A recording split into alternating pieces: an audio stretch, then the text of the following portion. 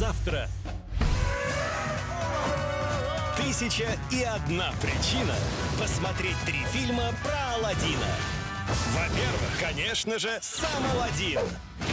Во-вторых, неподражаемый Джин. В-третьих, Кого же там привез роскошный лимузин? встречайте, принцесса Жасмин. Жасмин. Три фильма про Алладина. Завтра в 18.00. Дарите близким волшебство. Твой канал Дисней.